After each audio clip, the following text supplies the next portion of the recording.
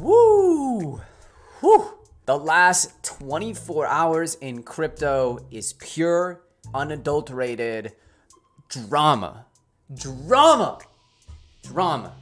I'm sorry to yell, but today is crazy. I feel like I feel like this is now reality TV. This isn't even, this is like not even crypto anymore. This is the Kardashians level drama. This is TMZ drama. Today we're going deep and we're talking about a tornado that just hit the crypto ecosystem of drama, FUD, confusion, and yeah, yo, look, I'm still bullish and I'll tell you why at the end. But before we get there, I don't want you to think like this is a doom and gloom episode. It's not. I've been through crypto, I've seen the end of the world so many times. It's never that way. But wow, was the last 24 hours absolutely insane. So let's go through this. We have drama with stablecoins, we have drama with DeFi, we have drama with the regulators, new rules, and potential executive actions. This is wild. It's starting to feel like FUD seriously cannot go higher. If you guys are excited for this one, smash the like button. I want to be clear here. You don't have to like the actual content to like the video. Just just like the video. Okay, let's dive in. Peak FUD is approaching. It's not all mere FUD though. Some bad news is actual bad news. There is bad news here. Let's talk about it.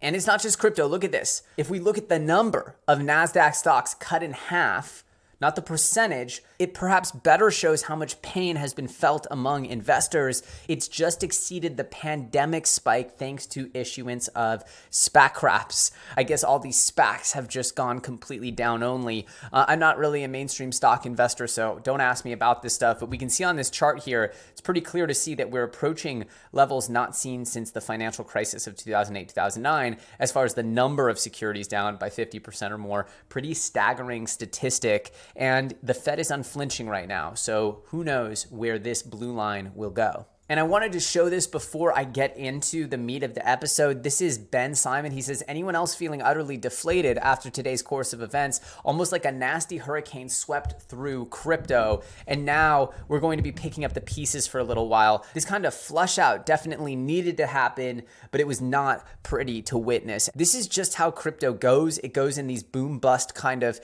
euphoric and depressive cycles, and we're in the depressive part of it. Usually, usually when things get really, really, really depressing and sad and down and nasty, is buying opportunities. I'm not saying that it's right now. Usually the depression turns to euphoria in the future. But again, let's just go through and evaluate before we get to any stuff like what comes next. So let's dive into the scandal one of this episode, which is Frog Nation. Now, many of you might be familiar with Frog Nation. I was actually one of the first people to discover Daniele and this whole Frog Nation thing as far as like the mainstream crypto content creators. Obviously, the DeFi big brains were there first, but essentially, Daniele is somebody who I found and he was just on this hot streak. Everything he created, Popsicle, Time, Wonderland, Spell, it was just all this huge, huge ball of ridiculously successful FOMO. And DeFi 3.0, 2.0, whatever. Anyway, this all just came crashing down to a halt, so much so that Daniele tweeted yesterday that he received 50 death threats or life threats, depending on how you see it. And so the big question is what happened here? How did we get to the point where Daniele went from the new god king of crypto and DeFi, literally buddy buddy arm over the shoulder here with Andre Cronje, the original king of DeFi, in Andre Cronje's Twitter banner, and now we get him getting death threats. So how did we get here? Let's go through this. So, Frog Nation is a collective of multi chain DeFi projects like Abracadabra, Wonderland, Popsicle Finance, and it was all scaling to new heights. And Abracadabra's innovative UST degen box strategy was the place to be for stablecoins. Earlier this week, Frog Nation made headlines by adding SushiSwap to its ecosystem, and Daniele Sesta vowed to clean up the struggling exchange. This was really exciting to hear that SushiSwap was joining Frog Nation, or essentially joining this cohort of DeFi applications. This sort of indicated that the ecosystem was getting even stronger and could potentially fix what was going on with sushi. So now he's getting death threats from angry investors in the wake of revelations that Frog Nation's CFO was a co founder of a defunct Canadian crypto exchange, Quadriga CX, which collapsed in 2019 and caused at least $190 million in investor losses. Okay, that's a different topic we're about to go into, but let's just go into this. So, what is Wonderland Time, which is sort of the focal point of this collapse? Well, time is essentially an on steroids version of Olympus DAO. Now, Olympus DAO, if you've seen anyone with 3, comma 3 in their Twitter name or bio or whatever, that was Olympus DAO. Now, the reality is that Time actually created a surcharge version of this, and people were calling that strategy 9, comma 9. I'm not going to spend too much time going into this, but just know that essentially the way this works is you can leverage your tokens. So you get this insanely high APY, but you need to lock your tokens and then you can borrow against them. So what it creates is leverage within this decentralized system. Now, this works really well as values go up because you can keep getting more and more money for your money. When values start going down of the token, like time, what happens is you have liquidations. Meaning, if I have $10 of time and I want to borrow against it and lock it up, I can borrow $3 against my time. But if the time goes down a little bit in value, it's fine, because even if I have $6 of time in there, I've only borrowed three. The problem comes if time continues to go down in value and I still have borrowed those $3. Meaning, if time gets down to the point where it's worth $3, what I borrowed, then essentially it will force sell time onto the market to replenish those funds. So it force sells. That's called getting liquidated. This is what happens when you trade leverage on things like Bybit, but it also can happen on chain. And this is one example of an on chain system that actually has liquidations. This is how a lot of DeFi works, by the way. But because time was so aggressive in the yields it could give you, it's also aggressive in the way it can collapse because as more and more people start getting liquidated, the price can rocket down, just like we've seen with liquidation cascades in the mainstream market. So, while this strategy paid off handsomely in 2021 as time soared, falling prices triggered a series of cascading liquidations, which we just explained. This refers to a vicious cycle in which users' collateral is liquidated and sold into an already weak market, meaning price was going down, market's already weak, and then you get all of these forced sells pushing huge pressure on the price down, down, down. Naturally, many borrowers were liquidated on the swift 50% drop, and the Wonderland team assured investors that the so called backing price would be defended using treasury funds. So, 0x Sifu says it looks like we finally have an opportunity to test the buyback promise of Wonderland Fi. Several million has once again been used to buy below our backing price, returning the price back to our intrinsic value. As a reminder, unlike most others, Wonderland buys at the backing price. And this is from 0x Sifu. Remember this name for the future future. He is the treasury manager, or at this time was the treasury manager of Wonderland. So back on January 25th, time plummeted to $360 from $800 in a matter of hours, well below the backing price. The buybacks didn't happen, and another cohort of borrowers were liquidated including the founders themselves. Now, this is where the drama really pops off because now the price had gotten so low that even the founders had gotten liquidated. Now, in response, the team announced that users who got liquidated behind them would be made whole either through buybacks if authorized DAO or with personal funds. You can see evidence of this from Sifu in the Discord chat. A proposal was then floated to merge Wonderland with Abracadabra, citing operational synergies. Remember, Abracadabra is the spell ecosystem, and Wonderland is the time ecosystem.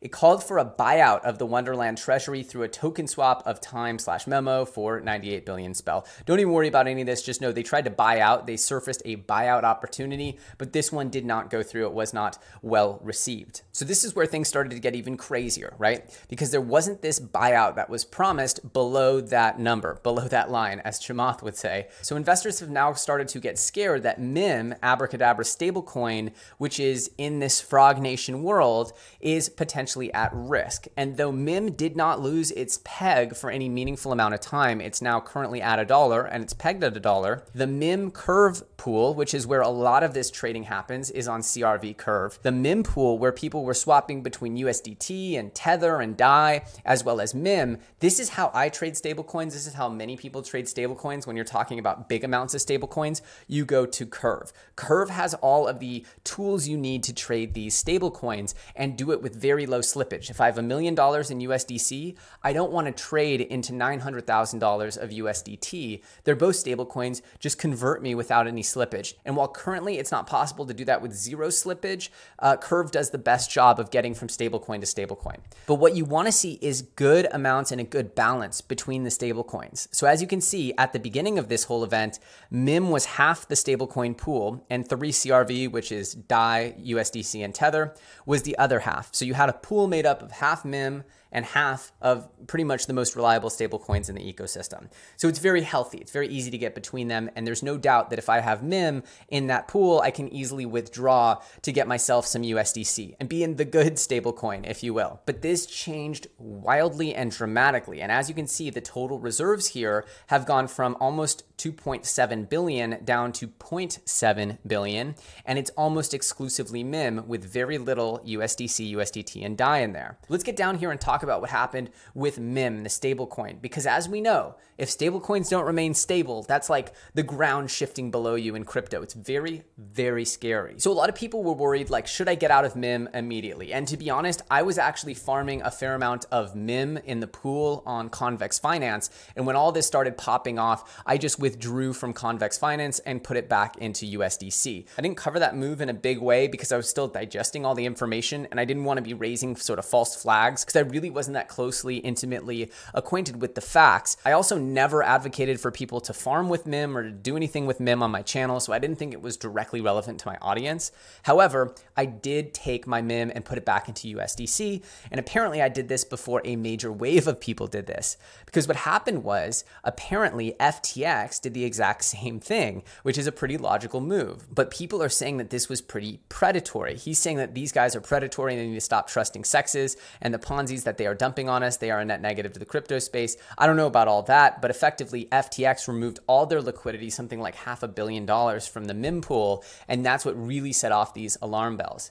Uh, this tweeter is saying he had zero skin in the game. He doesn't hold any meaningful stable position. He's just tired of seeing exchanges slaughter retail, yada, yada, yada. Okay, so what we know is what happened after this is that the MIM pool on Curve got drained. So the explanation for how these two things happen, how you went from 2.7 billion down to 0.7 billion, a lot of that was FTX and Alameda removing their liquidity, which to be fair, they have every right to do. I get why the complaints are there, but if you have half a billion and a scandal is popping off, I think removing liquidity is fair. I don't know. You guys tell me in the comment section below whether that was predatory or fair. I don't think you can blame FTX for what's going on with Wonderland. But now let's get to the drama drama, which is that apparently Sifu, 0x Sifu, is actually the co-founder of Quadriga CX, which led to the loss of hundreds of millions of dollars 169, 70, 80, 90 million. Who knows? The number has been quoted differently in different sources, but a lot of money was lost in this Canadian exchange shutting down. Zach XBT is talking about here that if you're unfamiliar with the Canadian exchange that collapsed in 2019,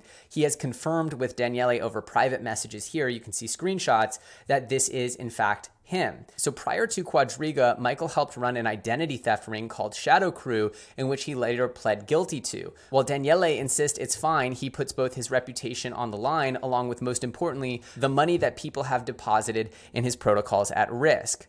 He would never have expected this, but he cannot sit on this any longer after the events experienced earlier this week with Time. Quadriga ties back to Sifu. So there are these threads here that essentially show that Daniele has some knowledge that Sifu might actually be this person, a founder of Quadriga CX, and that this is potentially a very bad actor with control over the treasury. Let's dig into this even more. And I just want to be clear like, I didn't do any of this research. This is secondary research. I'm just reading tweets on the internet. This is all alleged, alleged so I don't know the truth or fiction of this stuff. I'm just sharing the drama as I understand it, as I've internalized it, and I don't know, get some popcorn or something. Anyway, so who is Sifu? Michael Patryn, aka Omar Dhanani. He says he's had the unfortunate pleasure of following, and he is Midas the Fool again. I don't know who this is. He says he's had the unfortunate pleasure of following this criminal for years, and a thread on why we need this guy out. So currently affiliated with Wonderland Fi as the CFO of the multi-sig with $800 million in the treasury, his wallet expanded from 45 million to 450 million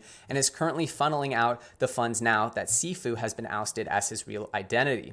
So in 2018 2019, he was, quote, Michael Patryn. Him and now missing deceased co founder Gerald Cotten started Quadriga CX, a Canadian crypto exchange. They basically ran a Ponzi with on chain evidence showing that Cotton may have traded with users' funds. I have no evidence of this. Again, alleged, alleged, caveat, caveat. Lawyers, okay, okay, I don't know. This is just what I'm reading. And this is, of course, part of the mystery. We all know that that exchange went down and that guy died with all this money in a wallet that nobody had access to. Lots of huge mystery and questions around it. Anyway, They would use deposits from new users to pay the withdrawals of old users. Eventually, everyone's withdrawals would be stuck in the process for weeks until eventually Cotten went on a trip to India. Mysteriously, Cotten died on his trip to Crohn's. Many believe that his death was faked, with weird details around the insurance of his death certificate, wife's reaction, etc. Many don't buy that he died. Many Canadians lost their life savings, some six figures worth or more. The courts tried to reclaim what they could, but most of the money was gone or missing. Sifu seemed to get away great. He and his wife ended up with the majority of the assets. His co founder, Cotten, was gone with him and $170 million. Canadians left helpless, but Sifu laughing all the way to the bank, his funds were safe. Before that, in 2005, he was running an identity theft ring, literally part of an online criminal media mafia committed to credit card theft, ID theft, and other Ponzi schemes. His name was Omar Dhanani back then.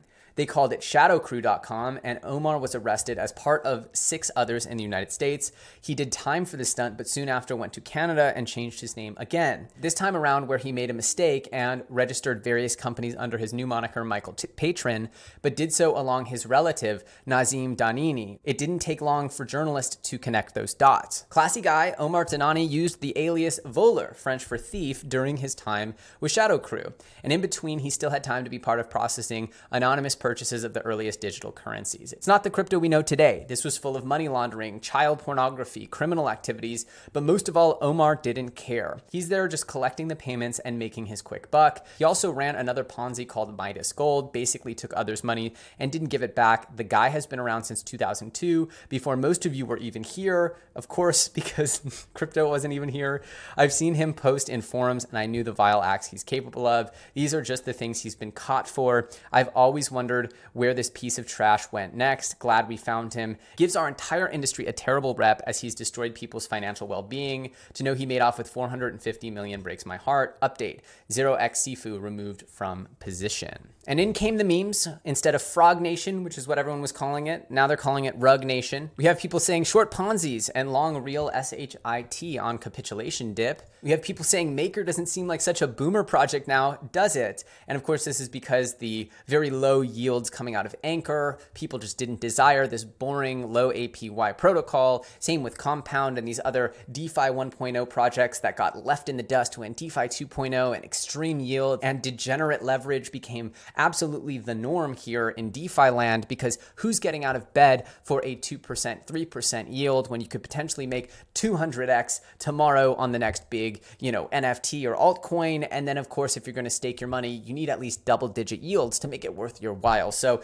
this is where, of course, the boomerism uh, towards DeFi 1.0 and that culture began. But now, of course, people saying, okay, well, maybe that was actually pretty sensible. We should have stuck with these sensible projects. And people are saying, I hope the tide is shifting away from chasing the most degen stuff back to sustainable DeFi with the recent saga. And of course, we get this saying from Danger. We know that Aave Protocol v3 is launched on testnet. Maybe this is a sign of the times, a return back to sort of home base here for Aave. And Test in Prodcap is saying, with all the MIM drama, we kind of missed that there was a hack of $80 million on the Qubit finance bridge to BSC. This was the largest exploit so far of 2022. And we're so busy with the Wonderland Time Sifu Quadriga CX thing that we didn't even notice an $80 million hack. Wow. Insult to injury, drama, theft, impersonation, tainting and scarring our precious crypto industry. This is bad stuff. This is really bad stuff. And you know what's even crazy? Is after all this drama, we got two more pieces of drama. So going back to Ben over here saying that it feels like a tornado just hit us and we're picking up the pieces and will be for a while, this is why. We have the Fed rugging us. We have Wonderland rugging us. We have bridges rugging us. And now we have some shady White House executive order on crypto that we don't know really what the context of, but we can guess is something to do with stablecoins. It's all just so conveniently timed to the point where you might have to scratch your beard and say, how could this happen all in the same moment at the same time? Again, when everything seems a bit too convenient, maybe it is. Then again, having really degenerate APYs in a down market is a serious recipe for cascading liquidations. We'll talk about that at the end. And finally, for one more piece of fun, we have this new rule coming out of the SEC, which is to amend the ATS regulation. Now, this is being considered a ridiculously wide and overly broad amendment that is directly targeting the digital asset space. And Laura Shin here highlights Hester Peirce, who is the one crypto friendly SEC commissioner, who said in her visceral dissent we face no emergency in these markets that compel us to limit comments to 30 days. Indeed, the Commission's precipitous rush to plow through the comment period, almost as if it were a mere formality in our process, presents a greater immediate risk to the market than any of the issues that have led to this recommendation. So effectively, we get time wonderland completely crumbling. We get allegations of a criminal running the time treasury. We have the Fed pressures in the monetary policy. We have Biden's executive action, and now we have an SEC rule change. All of which it just feels like a mountain, like the Mount Everest of news, of bad news, is on top of us. And yet Bitcoin's up slightly from the lows. So does this mean we've just been like horrifically and disgustingly oversold and that we need to bounce and that until we get an actual rate hike that you know the worst is over i certainly feel that way uh, we'll talk a little bit now about some positives because there are positives always positives we have Alex Kruger saying prepare for a range similar from June to July, where the odds of breaking up or down are similar and the upside is limited. Everything crashed hard in January, yet Powell said today asset prices are somewhat elevated. The strike for the Fed put is far away, meaning the Fed isn't coming to save us. Not this time. We have Luke Martin saying the bear market is transitory. Come on, Jerome, where are you talking about the transitoriness and nature of bear markets? We also got Pomp talking about a bill in Arizona to make Bitcoin legal tender within the state. I really don't know if states have the ability to create legal tender. I certainly don't think so. Uh, however, this is a cute thing to see. It just shows, again, not all jurisdictions, not all regulators, not all places are against crypto or trying to put this thing into a dark corner. A lot of places are very crypto friendly. A lot of regulators are very crypto friendly. We also have Google Cloud could soon accept Bitcoin and crypto after launching its blockchain unit. We have MasterCard saying it wants to increase Ethereum scalability via consensus. And then we have AKT listing on Cosmos. So a little bit of nice news here. Again, I'm a big AKT fan. I think that their tech is very cool, but that's not the point of today's episode. Woo! A marathon, a marathon of drama. I'm literally up here pacing back and forth. I can't sit still on days like today. And it just feels like we just got hit in the face so hard. So many things all at once. And I don't really smell a conspiracy here so much as just the feeling that when things get this bad, when things feel this bad, like there's literally no blue in the sky, just clouds for miles, usually that gets us close to a bottom of sorts, a local bottom, some kind of sentiment overextension where we can't get any worse. The reality is, is that I believe so strongly in the adoption of this technology, regardless of what Biden wants to do, regardless of what anyone wants to do, regardless of criminals doing bad things in the ecosystem ecosystem. Yes, being overly degenerate with DeFi yields is probably pretty scary. In fact, DeFi is a scary place right now and probably best to be away from any kind of exotic DeFi, at least until the seas settle down a little bit. Secondly, I'm also completely obsessed, entrenched, and through and through a believer in the metaverse gaming revolution. This is happening, regardless of anything that we've just talked about, it's happening. It is a product category that doesn't need Orange Coin, that doesn't need any of this. It's just about people having fun, playing games online, and sharing the value of these economies. Very simple. It doesn't require anything else from this world. And that actually gives me life and gives me hope because I believe this year we'll see the launch and growth of the most important gaming and metaverse projects to date, and that without fail, these crashes and these horribly low sentiment periods will be looked at as well, amazing opportunities at some point in the future. So my task remains the same. Of course, NFTs have been on this massive, disgusting, amazing, bullish tear. And I'm so excited for the next few weeks and months of NFTs as they seem to be just sitting out there in the corner, not getting affected by this. Again, if the whole world comes crumbling down, I'm sure the NFT market will be affected. But at the same time, it's just nice that there's a place where we can go and bury our heads and just trade JPEGs and have fun, make some profits, play some games. And that's what I'll be doing throughout 2022. In fact, I'm going to start doing some gameplay videos here on the channel. I feel like it could mix up the content and make it even more fun and, and even more accessible to a lot of people. I hope you guys enjoyed this TMZ style episode on the drama. To anyone out there affected by this, you're not alone. We'll get through this together as a community. If you guys enjoyed learning about all this drama, the crazy amount of drama, smash that like button. You don't have to like the drama to like the video. If you like the video, like the video. As always, I'm EllioTrades. You can find me on Twitter at EllioTrades. Yes, there is so much good happening in 2022. The prices seem scary. The regulators seem like they have their fangs out, but it's not going to stop this train. And I'll be with you here each and every day, each and every step. As always, I hope you guys are having a happy and healthy day. I hope you're okay wherever you are in the world. And as always, I will see you very soon on the next episode.